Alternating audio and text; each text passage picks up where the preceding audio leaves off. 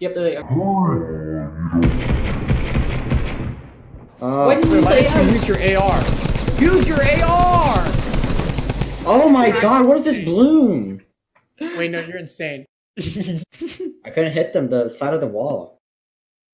Well, because they were in the end of res animation where literally neither of them can do anything for another half a second. And the down guy was invincible.